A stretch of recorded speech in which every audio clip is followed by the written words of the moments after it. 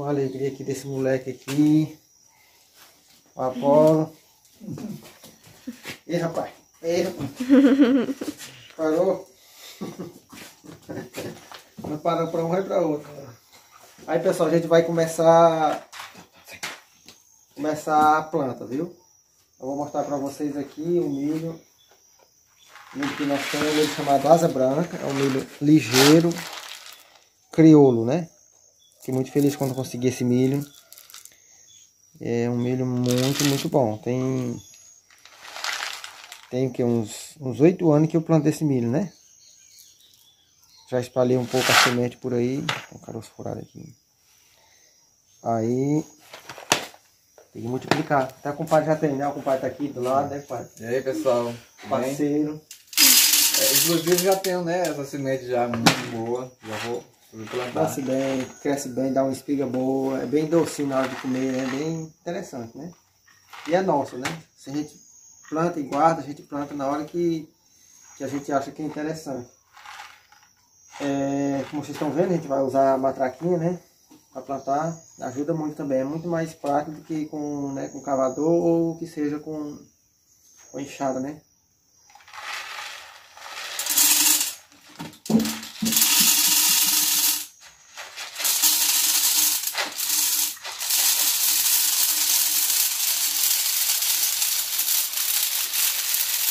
Aqui, né?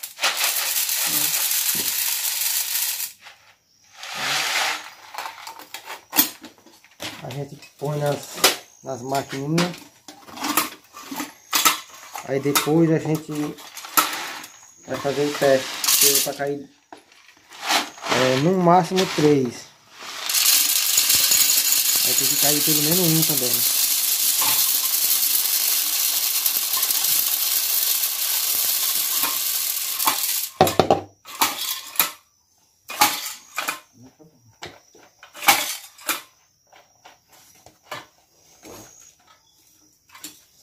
Mais milho ali. Olha aí, pessoal. Aí eu tenho dois tipos de milho. Esse aqui é o dente de burro. Por que, que é dente de burro? É porque parece mesmo com o dente de um burro, olha. Compridão e é chato. Aí esse aqui, que é o milho asa branca, é o milho ligeiro, milho 70 dias. O caroço é mais grosso e mais curtinho, né? Esse aqui é mais tardão, demora mais pra gente colher. Esse aqui é 70 dias, rapidão, viu? Então são dois tipos que a gente tem. Esse aqui é o mais tradicional, é o milho mesmo para tudo enquanto, né? Para comer assado. Hum. Comer assado não é tão legal, porque o caroço dele não é. assa bem porque é compridão, né? Compridão. Sabugo fino, também conhecido como sabugo fino. Brasileiro também. Conhecido como milho brasileiro, nosso. Né? E super adaptado. Eu colhi, eu colhi agora, no restinho que tinha roça. Em janeiro. Janeiro. Então foi plantado em janeiro, eu colhi em janeiro bonzinho o milho. Não estraga esse aqui não que apesar de ser crioulo, apesar de ser nosso, mas ele é um milho que ele estraga mais rápido, né? Não sei porquê, mas tem, né? Tem que secou ou colher, viu? Yeah. Pois é isso aí, os dois tipos de milho que nós temos. E aí, Maria Tolé? E aí, tudo bom? Tudo em cima? Tudo aí, bonito? Nossa, ou tudo nossa, feio? Nossa vizinha aí. Porque cada cal é mais... Eu me sinto muito bonito. É, então pronto. É essencial para a autoestima. É, é essencial para um, um dia bom, hein? E aí, tá aqui. Bom, beleza? Tudo lindo também.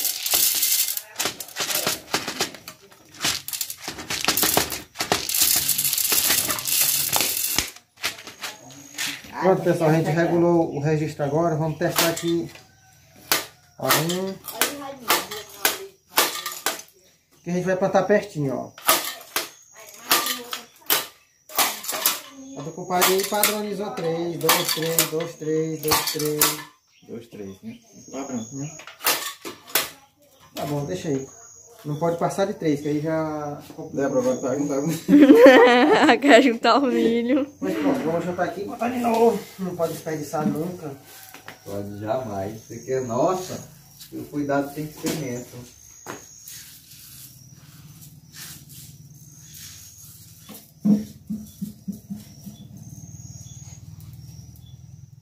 antes de começar a plantar mesmo, a gente faz o que a gente chama aqui de extrema, né? Que é uma, uma linha Divisão. Que é uma divisão, né? Que é para poder a gente fazer as, as linhas assim. Toda vez que chegar na linha, para, aí dobra de novo, né?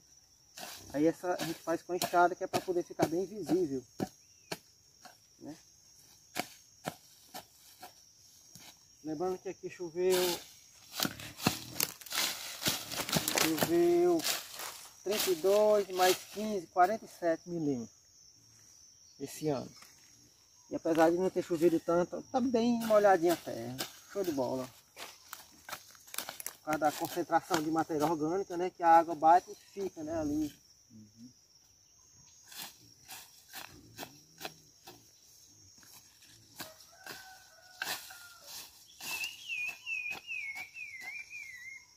Então, vou pedir para o compadre continuar com essa linha. Eu já vou plantando aqui.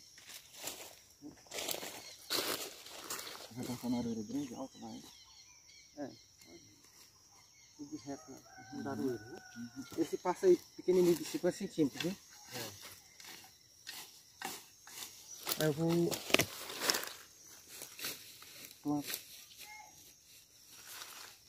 plantando aqui. Pessoal, essa área aqui vamos plantar milho, arroz. Já vou ver essa questão do feijão, porque é, porque essa área aqui vai ser no verão, né? Eu pretendo trabalhar com irrigação. Essa área para cá, né? De acordo com, com, a quantidade da água que vai ficar ali naquele tanque ali.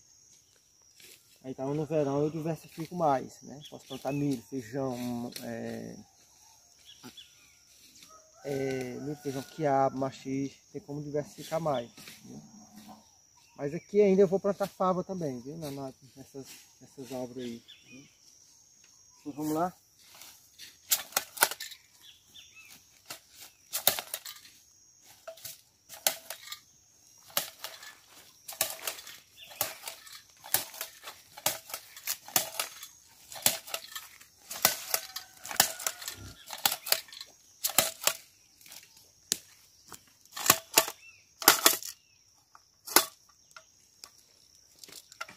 Ela, ela vai entrando barro, como a terra está molhada, vai entrando um pouquinho de terra aqui. Aí a semente gruda e não, não cai.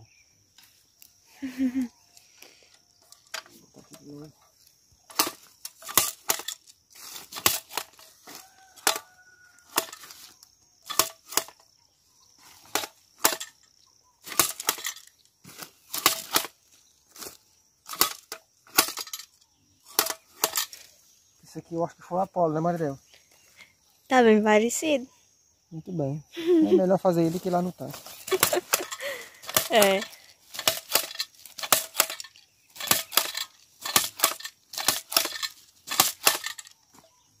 Pronto.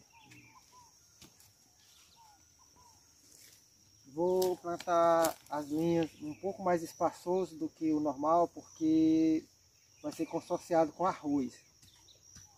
Então, vou, vou plantar em torno de um metro, um metro e vinte de largura.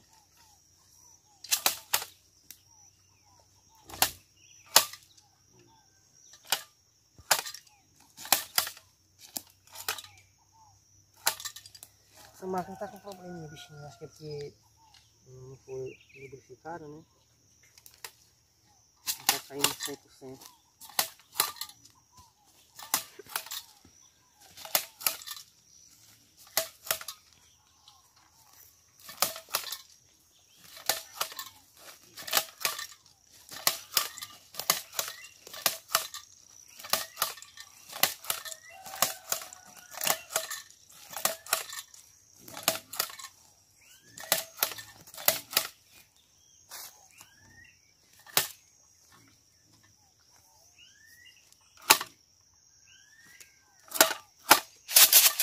Às vezes, devido o registro estar um pouco apertado para não sair muito, ah, os caroços entopem aí não, não cai.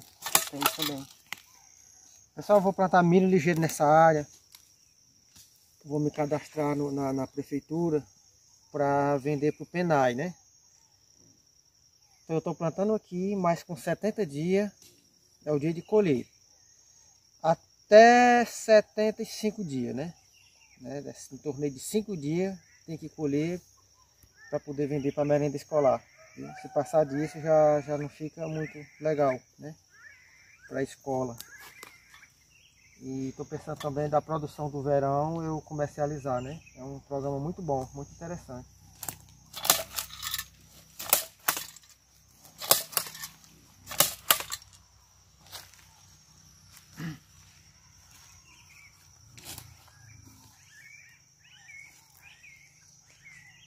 fazer aqui um negócio aqui no meio aqui pra matar a carreira.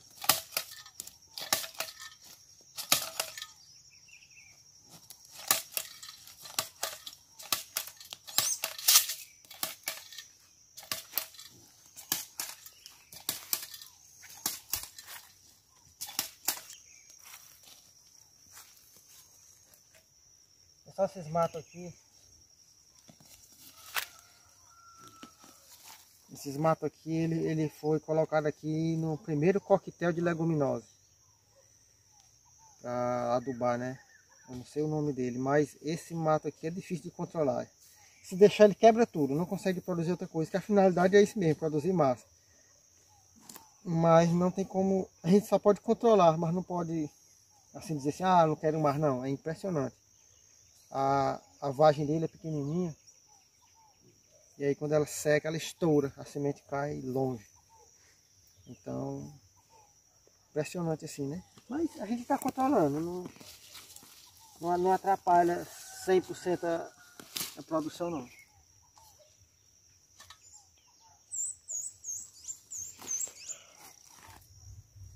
Pronto pessoal, pois agora a gente vai arrochar aqui plantando, né?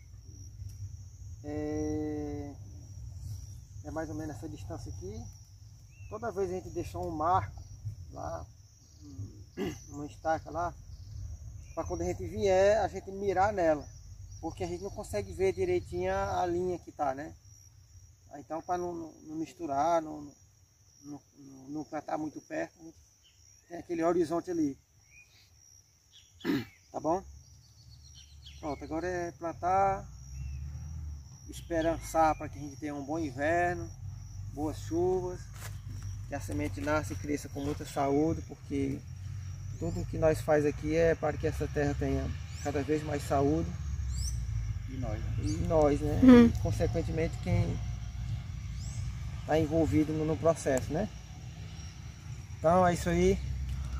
Um abração para vocês, muita saúde, muita paz, alegria. É o que a gente deseja para vocês. Meu compadre, quer dizer alguma coisa? Só reforçando, né? Sempre as pessoas falam que o trabalhador de roça, né? O trabalho da roça é um tiro no escuro, né? Agora aqui não, aqui a pessoa já vê com mais clareza, né? Quem trabalha no. pega no, lá do roço, derruba, é, construção de cerca, né? É, e, a, e a terra totalmente queimada, seca, né? Agora aqui a gente vê que já é um tiro já no, num alvo já quase que certo, né? A gente vê a, a, a terra fofa, né? né? A terra forte, fértil, né? a gente vê um, um horizonte, né? Já vê uma luz no fim do túnel, né? Essa diferença, né? Da, da, roça convencional para uma roça né, voltada para hum. esse sistema é, ecológico, né? Agroecológico, né? Diferença.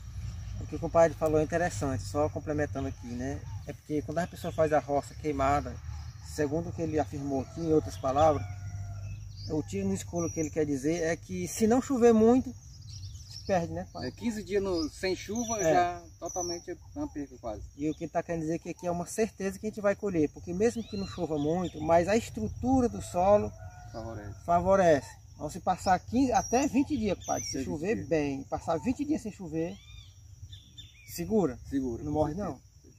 A, a terra garante essas sustentação da água, da umidade, né? Por causa da folha em cima, por causa da matéria orgânica inserida no solo, mantém isso. Então aqui é, é, eu já passei em 2015, foi uma seca braba. 2015 aqui não choveu menos da metade do que é previsto para o ano inteiro, né? E teve produção, não teve perda não. E olha que em 2015, sete anos a menos né, de acúmulo de matéria orgânica. Então agora está mais tranquilo ainda quanto a isso, né? Então, boa observação. Pois vamos lá, nos acompanhem.